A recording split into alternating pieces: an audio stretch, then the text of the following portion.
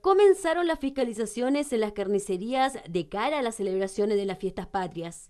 Se fiscalizó la correcta disposición y almacenamiento de materias primas y la manipulación de los productos cárneos.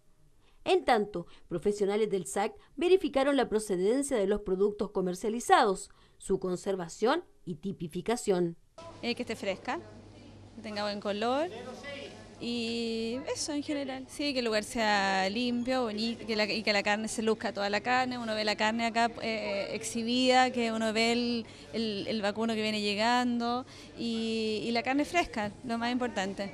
El color de la carne, punto primero a ver si está en buenas condiciones, eh, si no está babosa, lo que es el pollo, la carne si no está verde o negra por abajo. Eh, que sea fresca, que sea sin preservantes, sin colorantes, que sea carne que no tenga, que no nos influya, digamos, en la salud.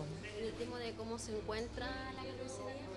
Sí, la limpieza, eh, el estado, cómo atiende la gente. No. Y educar a las personas respecto de aquellos alimentos eh, que sufren un consumo un poco mayor durante estas fiestas eh, y recordarle cuáles son las características de las carnes. Hemos estado eh, hoy día iniciando estas fiscalizaciones en conjunto con el Servicio Agrícola y Ganadero para que tengamos un 18 que sea tranquilo con carnes que provengan de locales establecidos en condiciones de refrigeración y con un faenamiento conocido.